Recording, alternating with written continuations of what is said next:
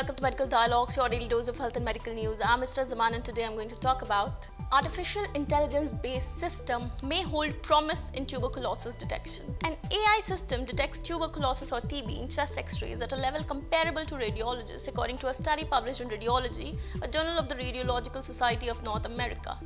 Researchers said the AI system may be able to aid screening in areas with limited radiologist resources. TB is an infectious disease of the lungs that kills more than a million people worldwide every year.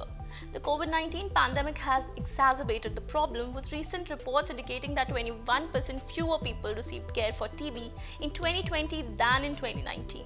Almost 90% of the active TB infections occur in about 30 countries, many with scarce resources needed to address this public health problem.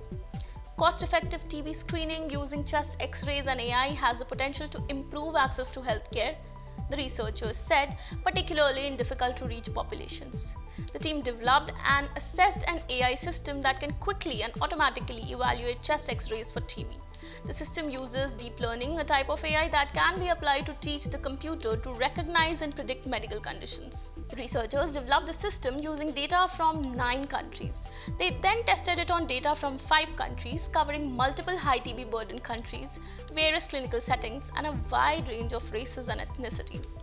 Over 1,65,000 images from more than 22,000 patients were used for model development and testing. Analysis with 14 international radiologists showed that the deep learning method was comparable to radiologists for the determination of active TB on chest x rays.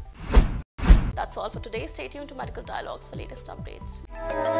Never miss a medical update from Medical Dialogues.